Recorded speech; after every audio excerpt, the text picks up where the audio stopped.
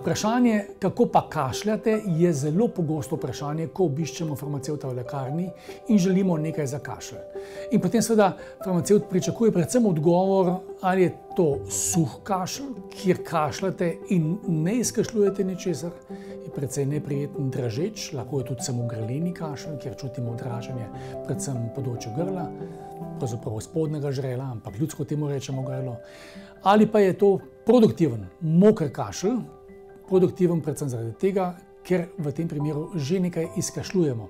Pomeni, da se je v pljučih lahko nabralo več sluzi, za katero je dobro, da jo izkašljamo, ne da ostane v pljučih in povzroča nadaljne komplikacije. Tako da je dobro vedeti, predvsem si prisluhniti, kako kašljamo, vendar zadeva, kot pogosto v življenju, ni tako črno-bela. Zgodi se namreč, da imamo lahko kombinacijo obeh imamo lahko izkašljevanje, pa kljub vsemu vmes tudi draženje na suh kašelj.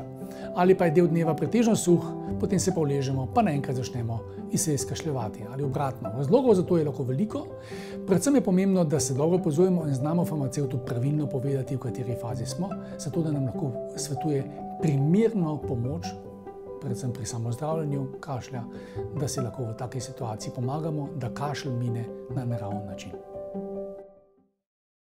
Farmedika, vaš partner pri zdravju.